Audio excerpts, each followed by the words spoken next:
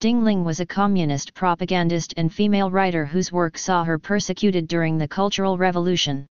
Born in Hunan with the birth name Zhang Bingzi, Ding was educated by her widowed mother.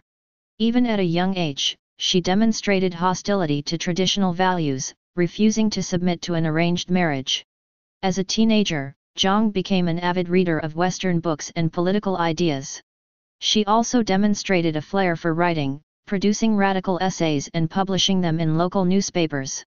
In 1921, she adopted the pen name Ding Ling and attended a women's college run by members of the Chinese Communist Party.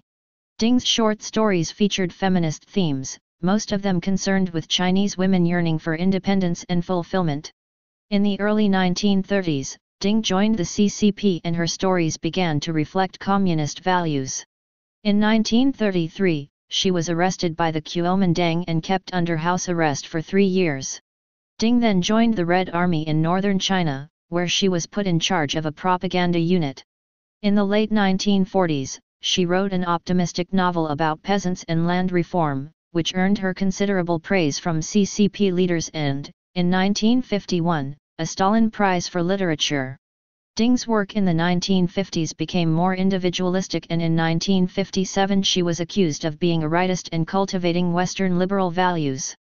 She was expelled from the party and her works were banned.